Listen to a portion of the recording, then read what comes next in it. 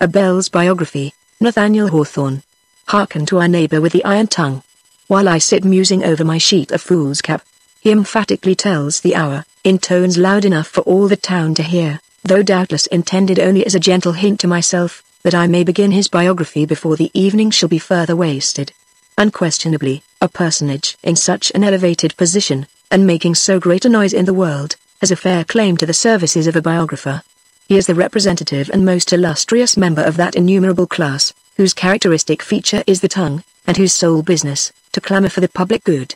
If any of his noisy brethren, in our tongue-governed democracy, be envious of the superiority which I have assigned him, they have my free consent to hang themselves as high as he. And, for his history, let not the reader apprehend an empty repetition of Ding Dong Bell. He has been the passive hero of wonderful vicissitudes, with which I have chanced to become acquainted, possibly from his own mouth, while the careless multitude supposed him to be talking merely of the time of day, or calling them to dinner or to church, or bidding drowsy people go bedward, or the dead to their graves. Many a revolution has it been his fate to go through, and invariably with a prodigious uproar. And whether or no he have told me his reminiscences, this at least is true, that the more I study his deep-toned language, the more sense, and sentiment, and so, do I discover in it. This bell for we may as well drop our quaint personification is of antique French manufacture, and the symbol of the cross betokens that it was meant to be suspended in the belfry of a Romish place of worship. The old people hereabout have a tradition, that a considerable part of the metal was supplied by a brass cannon, captured in one of the victories of Louis XIV over the Spaniards, and that Bourbon princess threw her golden crucifix into the molten mass. It is said, likewise, that a bishop baptized and blessed the bell, and prayed that a heavenly influence might mingle with its tones. When all due ceremonies had been performed, the Grand Monarch bestowed the gift than which none could resound his beneficence more loudly on the Jesuits, who were then converting the American Indians to the spiritual dominion of the Pope. So the bell comma our self-same bell, whose familiar voice we may hear at all hours, in the streets comma this very bell sent forth its first-born accents from the tower of a log-built chapel, westward of Lake Champlain, and near the mighty stream of the street Lawrence. It was called Our Lady's Chapel of the Forest. The peal went forth as if to redeem and consecrate the Heen wilderness. The wolf growled at the sound, as he prowled stealthily through the underbrush, the grim bear turned his back, and stalked sullenly away. The startled doe leapt up, and led her fawn into a deeper solitude. The red men wondered what awful voice was speaking amid the wind that roared through the treetops, and, following reverentially its summons, the dark-robed fathers blessed them, as they drew near the cross-crowned chapel. In a little time, there was a crucifix on every dusky bosom. The Indians knelt beneath the lowly roof, worshipping in the same forms that were observed under the vast dome of St. Peter's, when the Pope performed High Mass in the presence of kneeling princes. All the religious festivals, that awoke the chiming bells of lofty cathedrals, called forth a peal from Our Lady's Chapel of the Forest. Loudly rang the bell of the wilderness while the streets of Paris echoed with rejoicings for the birthday of the Bourbon, or whenever France had triumphed on some European battlefield. And the solemn woods were saddened with a melancholy knell as often as the thick strewn leaves were swept away from the virgin soil, for the burial of an Indian chief. Meantime, the bells of a hostile people and a hostile faith were ringing on Sabbaths and lecture days, at Boston and other Puritan towns. Their echoes died away hundreds of miles southeastward of Our Lady's Chapel. But scouts had threaded the pathless desert that lay between, and, from behind the huge tree trunks, perceived the Indians assembling at the summons of the bell. Some bore flaxen-haired scalps at their girdles, as if to lay those bloody trophies on Our Lady's altar. It was reported, and believed, all through New England, that the Pope of Rome, and the King of France, had established this little chapel in the forest, for the purpose of stirring up the red men to a crusade against the English settlers. The latter took energetic measures to secure their religion and their lives. On the eve of an especial fast of the Romish Church, while the bell tolled dismally, and the priests were chanting a doleful stave, a band of New England Rangers rushed from the surrounding woods, Fierce shouts, and the report of musketry, pealed suddenly within the chapel. The ministering priests threw themselves before the altar, and were slain even on its steps. If, as antique traditions tell us, no grass will grow where the blood of martyrs has been shed, this should be a barren spot, to this very day, on the site of that desecrated altar. While the blood was still plashing from step to step, the leader of the Rangers seized a torch, and applied it to the drapery of the shrine. The flame and smoke arose, as from a burnt sacrifice, at once illuminating and obscuring the whole interior of the chapel common now hiding the dead priests in a sable shroud, now revealing them and their slayers in one terrific glare. Some already wished that the altar smoke could cover the deed from the sight of heaven. But one of the rangers a man of sanctified aspect, though his hands were bloody approached the captain. Sir, said he, our village meeting house lacks a bell, and hitherto we have been faint to summon the good people to worship by beat of drum. Give me, I pray you, the bell of this popish chapel, for the sake of the godly Mr. Rogers, who doubtless hath remembered us in the prayers of the congregation, ever since we began our march. Who can tell what share of this night's good success we owe to that holy man's wrestling with the Lord? Nay, then, answered the captain, if good Mr. Rogers hath holpen our enterprise, it is right that he should share the spoil. Take the bell and welcome, Deacon Lawson, if you will be at the trouble of carrying it home.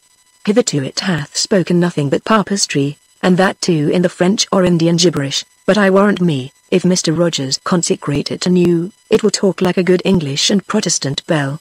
So Deacon Lawson and half a score of his townsmen took down the bell, suspended it on a pole, and bore it away on their sturdy shoulders, meaning to carry it to the shore of Lake Champlain, and thence homeward by water.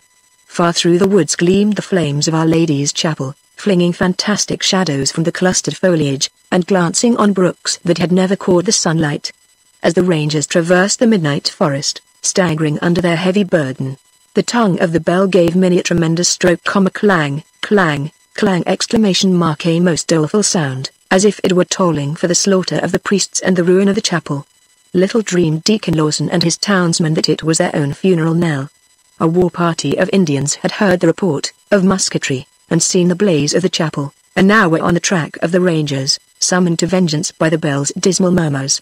In the midst of a deep swamp, they made a sudden onset on the retreating foe. Good Deacon Lawson battled stoutly, but had his skull cloven by a tomahawk, and sank into the depths of the morass, with the ponderous spell above him. And, for many a year thereafter, our hero's voice was heard no more on earth, neither at the hour of worship, nor at festivals nor funerals. And is he still buried in that unknown grave? Scarcely so, dear reader. Hark! How plainly we hear him at this moment, the spokesman of time, proclaiming that it is nine o'clock at night. We may therefore safely conclude that some happy chance has restored him to upper air. But the lay the bell, for many silent years, and the wonder is, that we did not lie silent there a century, or perhaps a dozen centuries, till the world should have forgotten not only his voice, but the voices of the whole brotherhood of bells. How would the first accent of his iron tongue have startled his resurrectionists? But he was not fated to be a subject of discussion among the antiquaries of far posterity. Near the close of the old French war, a party of New England axemen, who preceded the march of Colonel Bradstreet toward Lake Ontario, were building a bridge of logs through a swamp. Plunging down a stake, one of these pioneers felt it graze against some hard, smooth substance.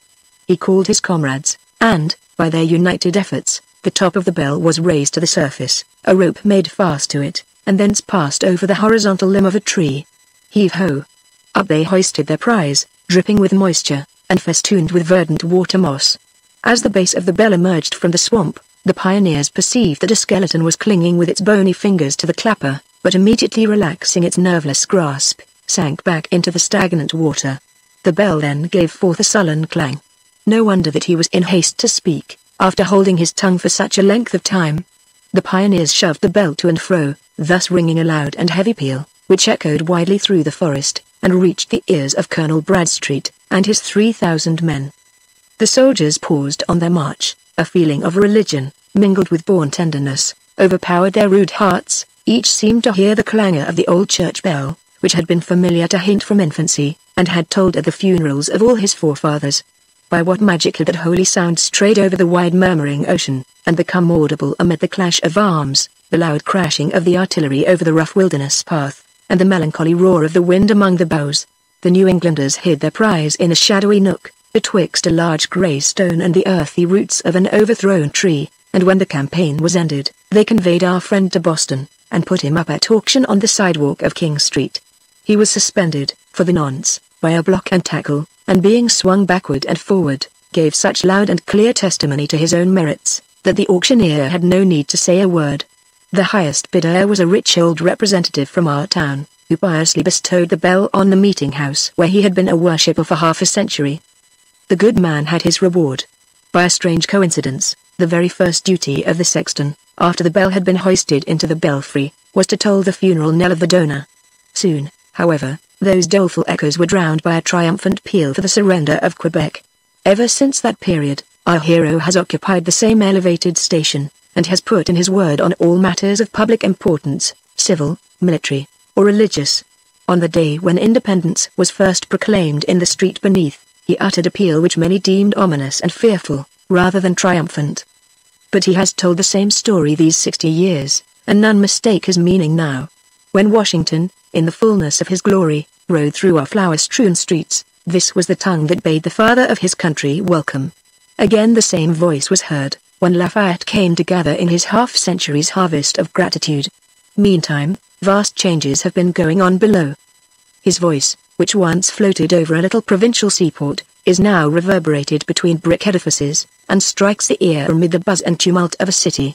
On the Sabbaths of olden time, the summons of the bell was obeyed by a picturesque and varied throng, stately gentlemen in purple velvet coats, embroidered waistcoats, white twigs, and gold-laced hats, stepping with grave courtesy beside ladies in flowered satin gowns, and hoop petticoats of majestic circumference, while behind followed a liveried slave or bondsman, bearing the psalm book, and a stove for his mistress's feet. The commonalty, clad in homely garb, gave precedence to their betters at the door of the meeting house, as if admitting that there were distinctions between them, even in the sight of God. Yet, as their coffins were borne one after another through the street, the bell has tolled a requiem for all alike. What mattered it, whether or no there were a silver scutcheon on the coffin lid? Open thy bosom, Mother Earth. Thus spake the bell. Another of thy children is coming to his long rest. Take him to thy bosom, and let him slumber in peace. Thus spake the bell, and Mother Earth received her child. With the self-same tones will the present generation be ushered to the embraces of their mother, and Mother Earth will still receive her children. Is not thy tongue a weary, mournful talker of two centuries? O funeral bell! Wilt thou never be shattered with thine own melancholy strokes? Yea, and a trumpet call shall arouse the sleepers, whom thy heavy clank could awake no more. Again again thy voice, reminding me that I am wasting the midnight oil. In my lonely fantasy, I can scarce believe that other mortals have caught the sound or that it vibrates elsewhere than in my secret soul. But to many hast thou spoken. Anxious men have heard thee on their sleepless pillows, and bethought themselves anew of tomorrow's care. In a brief interval of wakefulness, the sons of toil have heard thee, and say, Is so much of our quiet slumber spent question mark is the morning so near at hand? Crime has heard thee, and mutters, Now is the very hour. Despair answers thee, Thus much of this weary life is gone. The young mother, on her bed of pain and ecstasy, has counted thy echoing strokes, and dates from them her firstborn's share of life and immortality. The bridegroom and the bride have listened, and feel that their night of rapture flits like a dream away. Thine accents have fallen faintly on the ear of the dying man, and warned him that, ere thou speakest again, his spirit shall have passed whither no voice of time can ever reach. Alas for the departing traveller, if thy voice the voice of fleeting time have taught him no lessons for eternity.